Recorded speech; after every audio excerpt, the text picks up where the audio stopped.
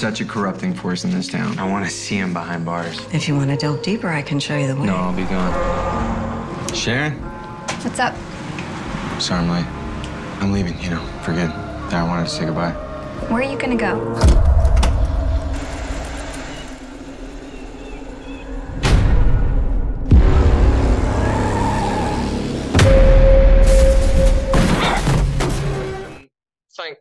And congrats on the movie. I really enjoyed it.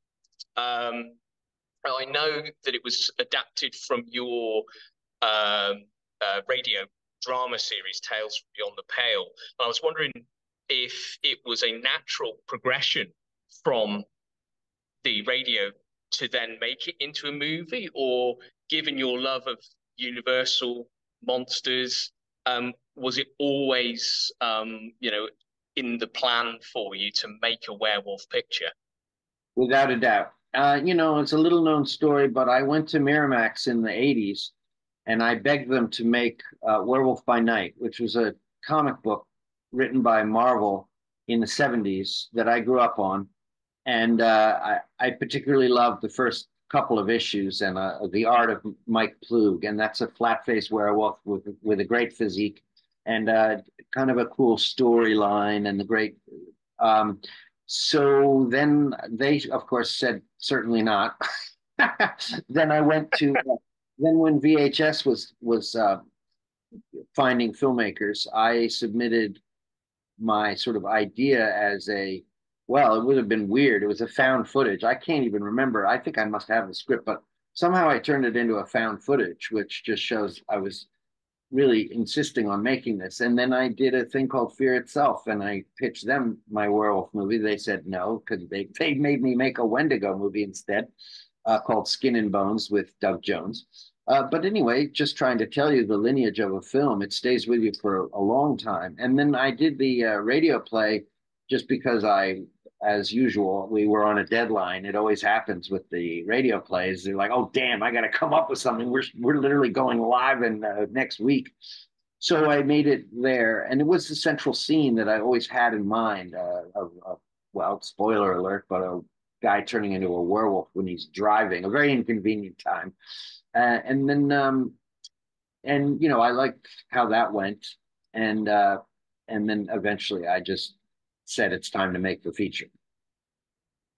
Yeah, I mean, obviously with Werewolf by Night, obviously Marvel picked it up, didn't they, a couple of years ago and um, released it for streaming. So you were far ahead of the of, of the curve in in terms of that. So the fact that you've continued to persist with that and you've you've had that seed constantly growing away is is brilliant.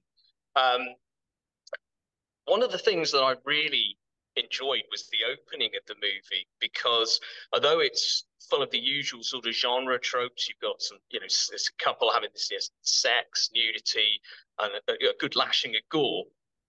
What follows on after that, though, is is complete. It is a completely different movie. Um, and I was wondering if it was a conscious choice on your part to wrong foot the audience at the beginning. Uh, well, you know, it's called the cold open, and Jaws has it. A lot of most of the uh, a lot of the beloved films have it. Although most of my movies, I go the opposite way, where I I like the slow burn into the horror, where in fact you're in a daily life thing, uh, and you're almost getting impatient because you're like, why am I watching this? And then you slowly learn that it's a vampire story. You know, that's how I approached my film called Habit. However, for this, the whole idea of being a werewolf is that you have sort of this secret that you're carrying around with you. And so I wanted the audience to be aware of what's worrying him and what he's sort of facing. And so there's, you know, there's calendars and other indications that maybe his time has come around. But that killing we have in the beginning is presumably from some time ago, which is to say a month or maybe two or three months, but in, uh, you know, in the moon cycle. Uh, it starts with a full moon, and then you know as you drift through the uh, the room and meet this character, you actually see a, a calendar with you know some feverish circles around some date. So maybe you're getting wind. Oh, I. I get what's going on. So this guy must be the werewolf. So I I also designed the movie uh, not to fetishize the mystery of who the werewolf is. That's for other films and, and always fun. There's a movie called Silver Bullet where you don't know who the werewolf in the town is. That's all good. Uh, but I was doing something different because I like to, um, my approach is to relate to the monster and the dilemma they have. And in this case, he's got a curse and it's coming around again. So I, and even though some people feel impatient with, you know, when are we getting back to the monster story? My point is that every scene, every interaction is haunted by the fact that he's, yeah, this thing is about, is going to happen. Uh, so that's sort of what I'm playing. Yeah, and the one thing that I love about your work is the characterization that that you put in. So even in that opening scene, which in a lot of movies would be kind of throwaway, you have the couple sort of having a back and forth chat and getting all excited, and you you're already into them as characters. You've already got a feel for who they are, and then they're killed off, which is which is you know exciting and, and disappointing at the same time. And you have that you know um, all the way through your movies that great characterization, and that's something that I loved. And speaking of great characters, I thought Charlie, who's at the center, um, uh, was um, really well played, quite soulfully, I thought, by Alex Hurt. And um, obviously, he's in the midst of this really hairy existential crisis. And I was, um, and um, I was wondering um, how his casting and involvement came about, because I know you've got like um, a, a, a, sort of group of friends with within the industry. So we've got sort of Barbara Crampton, for example, and Joe Swanberg popping up here. Um, was Alex already within the Fessenden family, or was he uh, newly brought into the fold on this movie? Well, actually, he was, and I tribute my son discovered him, so to speak, uh, because my son made a war film called Foxhole when he was a young guy, nineteen or something, and um, he um, he uh, had a casting agent named Lois Drabkin who brought Alex in for a reading, and and Jack uh, really liked uh, Alex's work, and so I was the producer on that movie. So I got to meet Alex, and I hung out with him, you know, between takes of my son's film, and uh, we were talking, and he said that you know he was motivated to, become an actor because of Boris Karloff and the Chaney character, and I was just like, oh, that's so sweet um, because your father happens to be William Hurt, so you think that was why you're an actor, but actually he had sort of this older origin story, and uh, and an uncle who was a huge proponent of monsters and all of this, which I thought was charming.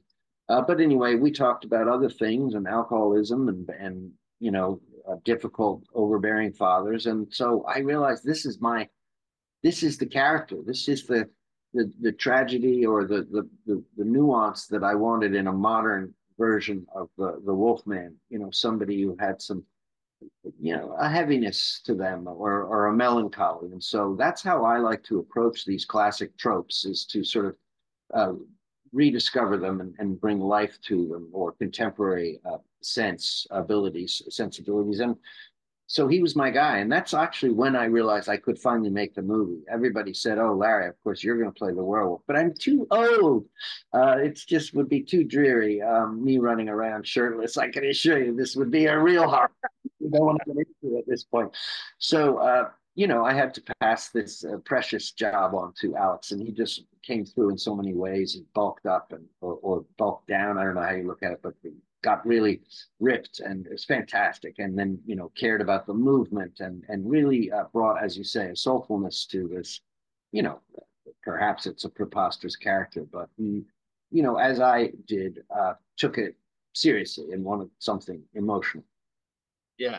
Yeah. And it, it more than succeeded there. I, I you know, he um, was the real heart of the movie, and there was a lot of um, emotional conveyance just through through his eyes. You could really feel the the weight that he was his character, you know, his character was car- uh, carrying.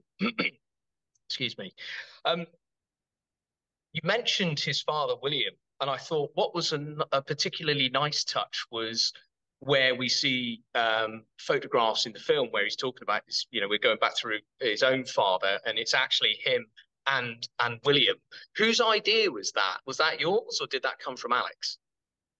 Um, it's funny in the Q and A's we did a couple Q and A's. He says it was his idea to suggest it, and I think obviously the fact that the photos existed Yeah, so it was entirely his idea. He said, I have these old pictures. Shall we use them? And of course, I was a little, well, I don't want to impose and I don't want to abuse the old man and uh, your guys' history. And, but honestly, uh, whether or not it was William Hurt, there's nothing more exciting than the real, real photos from the past. And, you know, and then there's something about them that are so striking, just the individual moments that you see.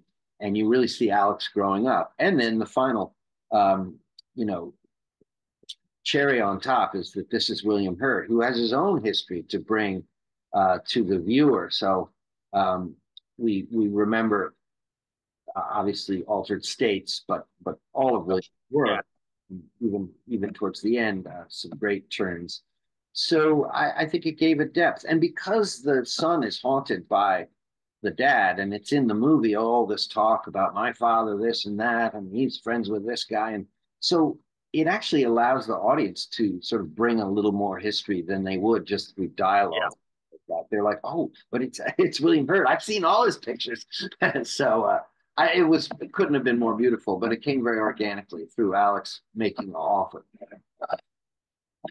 Lovely. Now, um, I want to talk a little bit about the werewolf design, which I thought was was great in terms of the FX and, and, and the look. Now, compared to other um, sort of werewolf designs, so for example, this chap on my T-shirt here. Oh, um, no, you've been teasing me this whole time. You think I didn't notice? well, I, I, thought I'd wear something um, a, suitably appropriate. Apologies, for, you know, I haven't got any merch for your own movie, but um, I thought I'd get in, get into the mood. Oh. Um, oh. the design, as I say, is quite minimalist, and I was wondering if that was um, to do with specifically allowing Alex um, a greater range of flexibility to display emotion, as well as the physical feats that um, you know when he's in uh, t- transforms into the werewolf, he has to um, to do. I mean, there's a lot of him running through the woods and jumping, and obviously with a lot of heavy prosthetics, that's going to be difficult to do. So, was that where you were where you were coming from on that? Yes, I mean, a lot of people assume it's a budgetary thing, and you know that's to be determined. There, there's obviously little things one might have done with more money, but the bottom line is, this is my aesthetic: is a wolf man. As I say, it comes from that comic book as well as Lon Chaney. But even the choice to have him wear shoes was weirdly practical. But also, I I'm never a fan when you see the werewolf movie and they show the the boot being torn to pieces by the toes I mean, you know, it depends on how far you want your creature to be departing from the physical form, uh, the human form.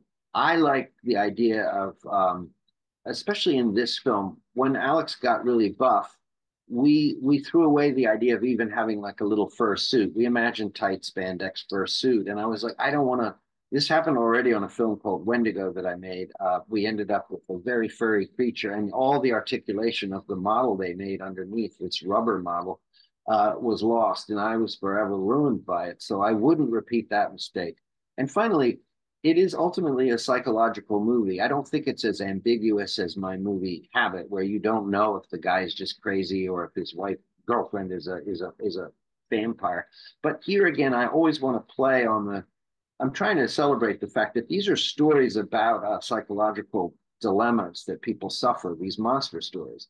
And, you know, there's a wonderful uh, metaphor in play, which is like a man turns into a wolf at night. But the, the truth is, is that I wanted to remain grounded that, you know, this is a guy who's been kicked out of the house by the girlfriend. When he comes to her house, it's as much uh, a home invasion by your ex lover as it is a werewolf movie. And I wanted to always feel that um, and and then the final confrontation has a similar, just very human, uh, bad breakup kind of vibe. So you're right. You can feel Alex's performance through it, and there's there's bewilderment. Even I would argue, and I mean, you might not have the graphic, but I, I did make a poster, and I put the werewolf on the poster. It's because I'm like, this isn't a movie where, you know, you're going to wait for 20 minutes and then I'm going to show you my monster. It's like come in and let's see what else this movie has to offer because it's not about the incredible prosthetics. Having said that, I love the personality of the the makeup that was created by Spears and, and Peter Gerner. You know, it's very much what I wanted. We worked very hard on that, and you know, it was a great collaboration. And we knew the mission, and um, so that that was sort of the background of the of the creature, and even the movement was was designed uh, carefully to uh, conform to some ideas I had had about you know a creature movement. I'm very obsessed with this kind of ang- uh, animalistic thing. So all of that combined is wh- what you get. yeah, it worked. It worked really well.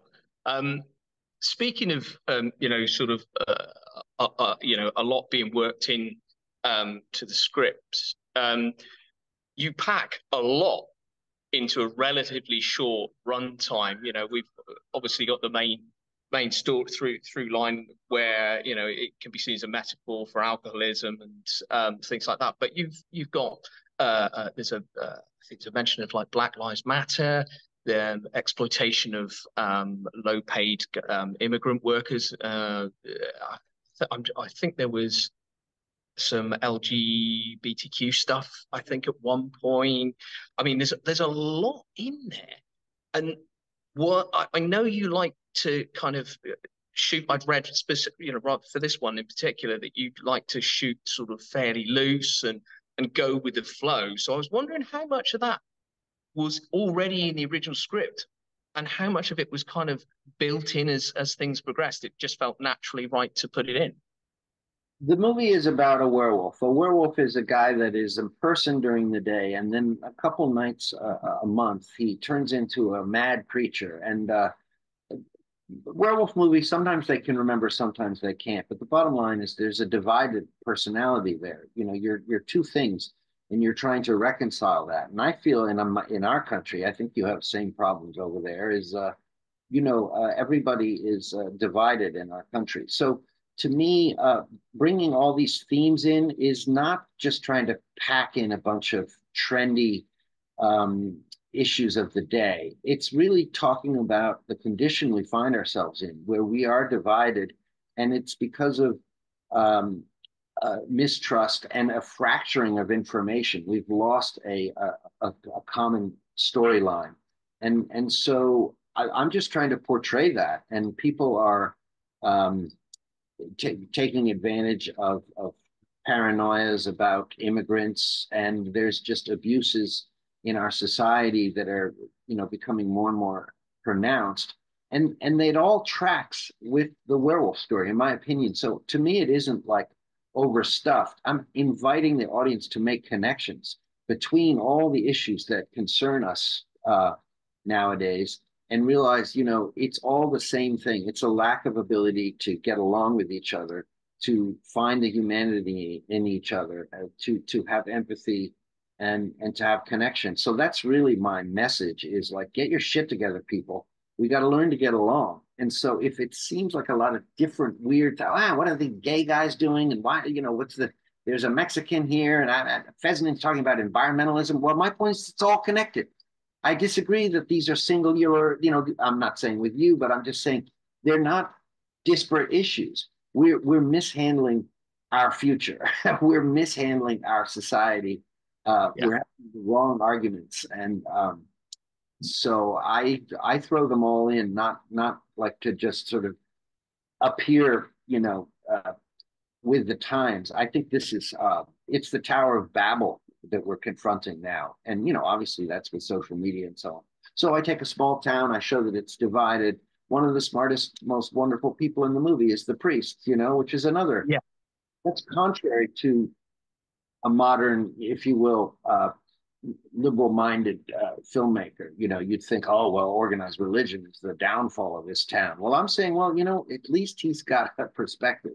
Uh, so uh, I, I, even that is a surprise, I think um, and one which I enjoy building with my uh, with my actor uh, John Speredakos. So just mm. to finish the thought, uh, most of it was absolutely scripted, and all these themes were were baked into my conceit.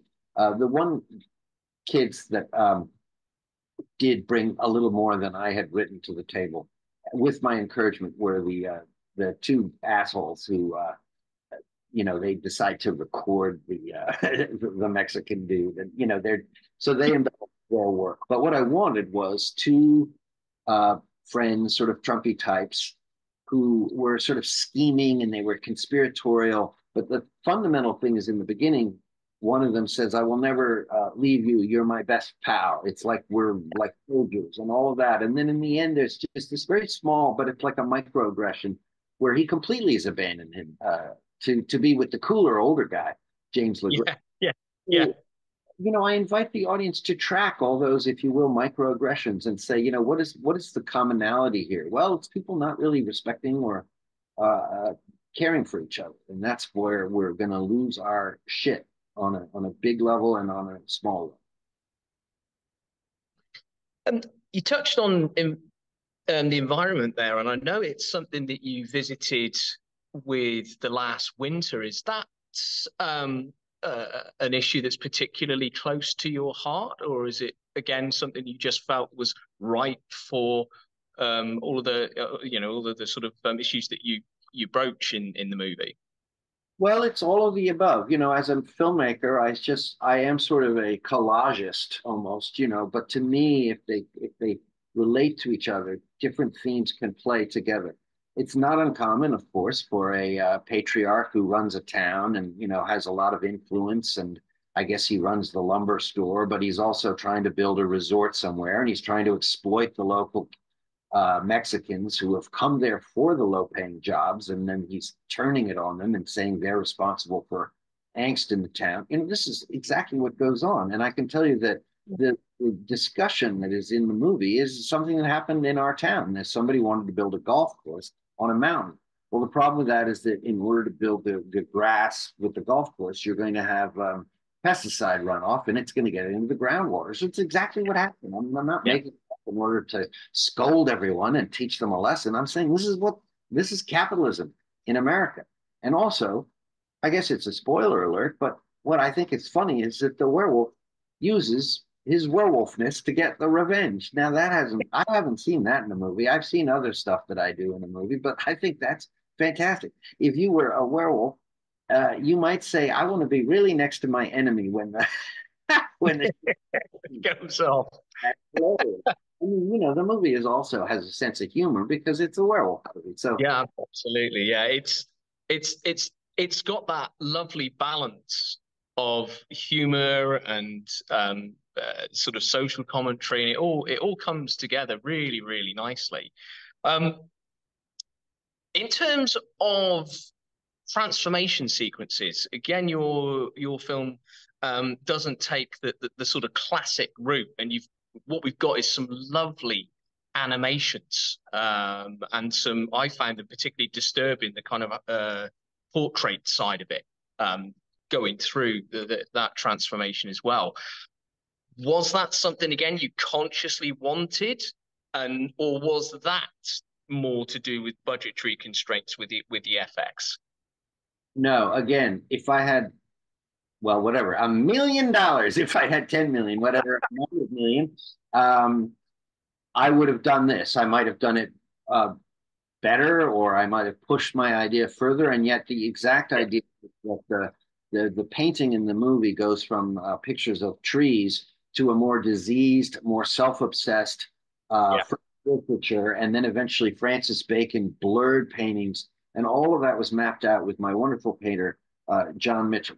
So this was, you know, tracking the the artistic psychology of the character as he becomes more uh, disturbed and obsessed. He becomes, if you will, a modern artist painter uh, from from a more uh, reverential painter of of you know quiet nature scene. So I wanted that uh, to happen.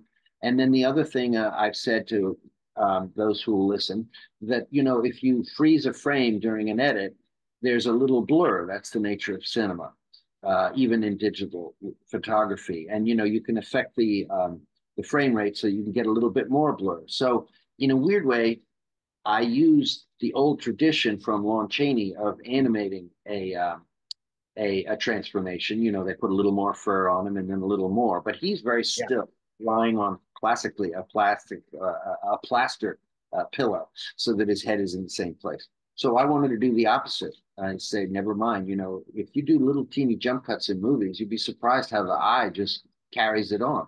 So I said, let's try that. And so suddenly we had a very loose opportunity to do a transformation and use those little blurs and slowly add makeup. Um, and and and that was how I wanted to treat this. Uh, it's almost like uh, uh, documentary style uh, werewolf transformation, which is very much my whole thing. It's like, what would it really be like, uh, rather than fetishize it as we've done in the yeah. 80s, the hand going, you know, all that. Uh, let's try something different and maybe disarming. So it's budget. I mean, it's not budget. It's it's, it's ideas first. I, I always say to my filmmakers because I produce movies, uh, I I don't let we don't have to talk about the budget. What is the idea you have? And then I, you know, you maybe you can't do that, but you you want to start with the idea. Yeah, and it worked really wonderfully. I, It was it was very refreshing to see um, the the animated approach, and I I thoroughly enjoyed it. Although, as I say, the, the Francis Bacon type of uh, imagery did quite upset me a little bit, but I guess that's your job. So, uh, well done. um, you touched on um, working with edits, um, and obviously you've directed this. I mean, you're um, one of um, the filmmaking world's multi hyphenates. I mean, on Blackout alone, you wrote, directed, produced, and edited. I think, am I right saying your voice is there somewhere in the in the movie as well? Uh, I can't remember. Is it? I don't know. Uh, oh yeah. Well, I'm in the beginning, but I don't even think I credit myself. Yeah, I'm the radio. And you know what's sweet is that yeah. what I'm saying, it's very muted. Maybe when I do the the Blu-ray or whatever, I'll I'll I'll unmute it um, because I'm saying uh, you have to go see Ti West Triggerman and uh, Graham Rez.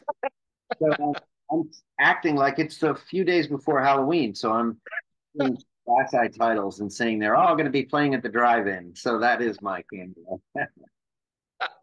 oh, um, what?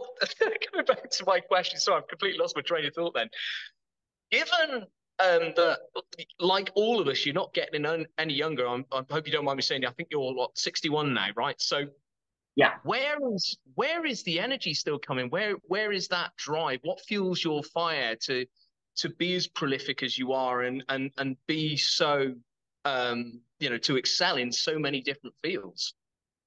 well, I don't know if I'm excelling, but I am carrying on. It's true, and I'm sure I'll run out of steam. Uh, I I am very uh, passionate and about uh, this art form, and and I want to work quickly. I mean, well, I want to work cheaply because I want to work quickly. I spent nine years trying to raise the money for Depraved and realized this isn't going anywhere, and so I abandoned ship and I made it for less.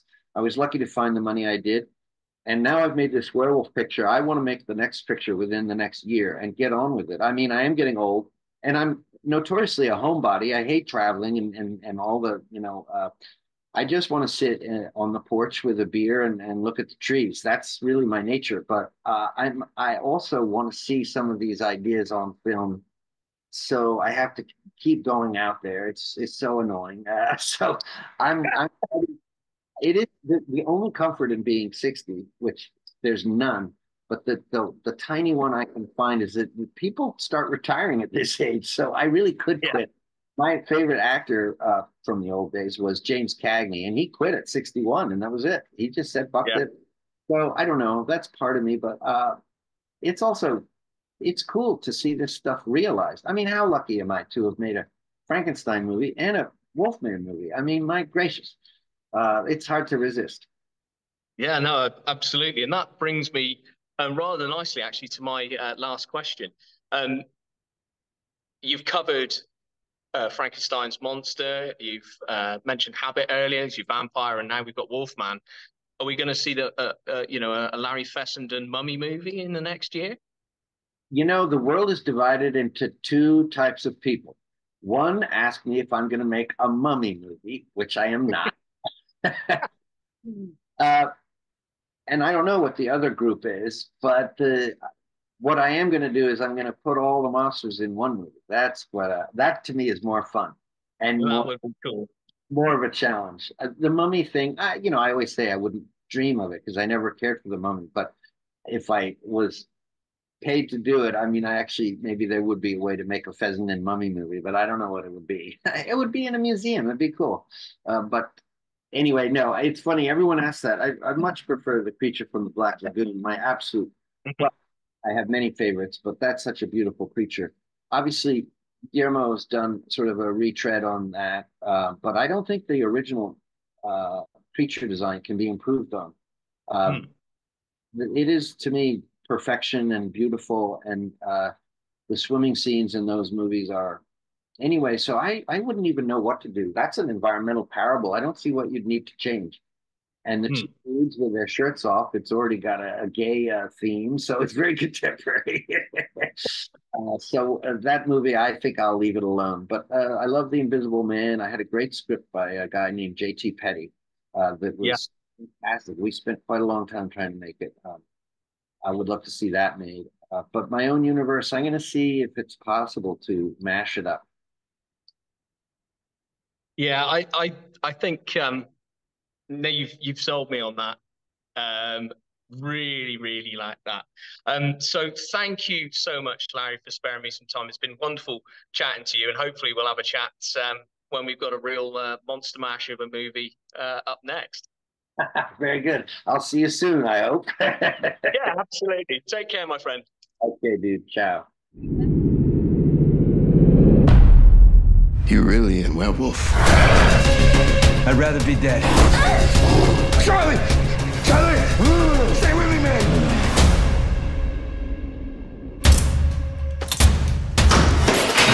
I can't wait to see your face when you realize what's happening. Oh,